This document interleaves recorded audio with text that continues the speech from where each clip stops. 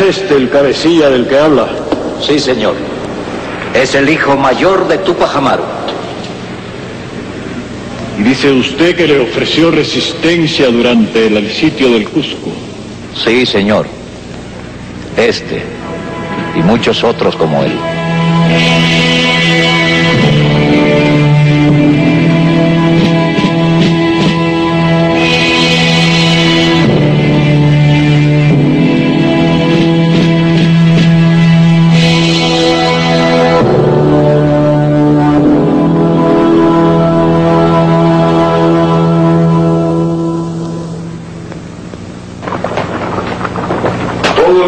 Está movilizado, señor.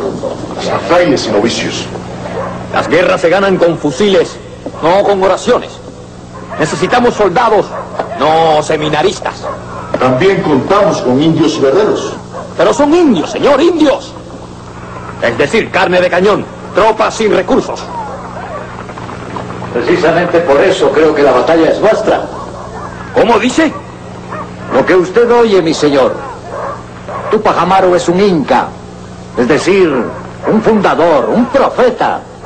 Explíquese, hombre.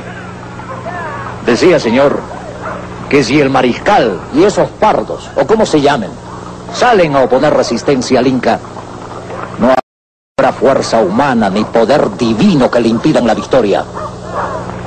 ¿Y entonces?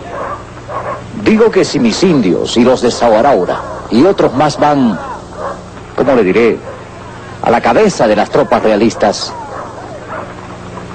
Tupac Amaru no se atreverá a disparar. ¿Qué dice usted? Lo que usted oye, excelencia. El Inca no quemará un tiro sobre nosotros.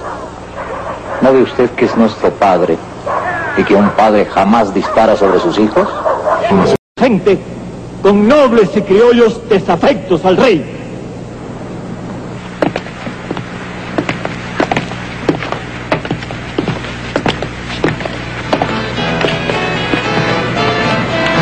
Señor de Montiel. Casimiro, ¿se encuentra el señor Marqués en casa? Sí, señor. Mi amo lo está esperando. Adelante. El cacique es taimado, señor. Ambicioso y taimado. pero rico e incluyente. Fuerza es pues que lo recibamos con cortesía. Don Miguel de Montiel, señor.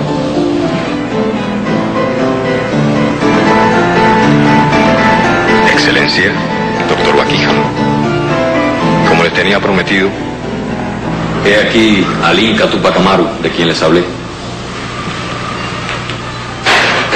Señores, Tupac Amaru no fue alguien del mismo nombre al que mandó ejecutar el virrey Toledo. en efecto, señor, desciendo por línea materna del último de los señores incas del Perú, que así se llamaba. La ejecución de Felipe Tupac Amaru fue un abominable crimen, señor. Ah, ya veo. Es por ello que quiere usted reivindicar su título de Inca. Señor de Montemira, usted por ser limeño y educado en Europa, no comprende la importancia de mi título. Varones de mi sangre ya no existen. Y los naturales de mi país pagan en las sombras en que nadie los sostenga. Ya veo. El rey de las Españas ya no basta para los indios.